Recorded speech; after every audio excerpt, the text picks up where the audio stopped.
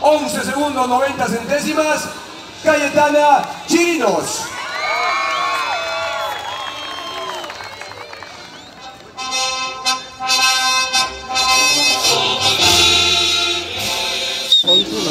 un marcón. De hecho, obviamente la mejor, porque es el nuevo récord de categoría. Pero no te vi del todo contento, o sea, te vi como que todavía quieres más. Es que, bueno, yo estaba contenta con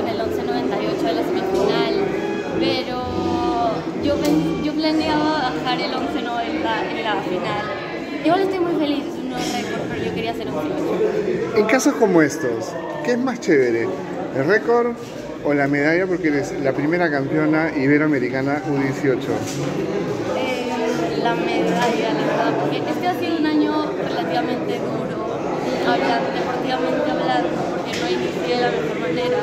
Entonces, la verdad, no me esperaba esto, entonces estoy muy feliz de Te lo dije fuera de cámara, te lo digo ahora, me encantó la celebración, ha sido de las pocas veces que te he visto explotar de alegría cruzando la meta porque te sentiste ganadora y además tenías a dos torres colombianas a los costados que eran inmensas.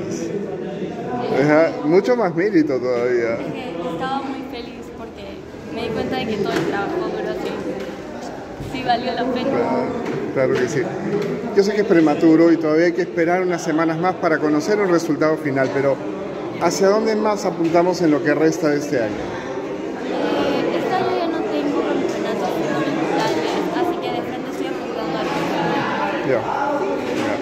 Y por ahí con ese bichito que tú lo tienes, que es París, ¿no es cierto? A ver si se puede dar.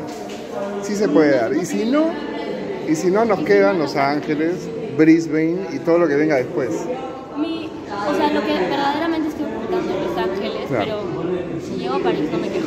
Eh, claro. Lo último, creo que también merece un reconocimiento especial todo el trabajo con Oscar, ¿no? Oscar Valiente. Eh, Oscar Valiente es un gran entrenador con el que estoy entrenando, creo que cuatro años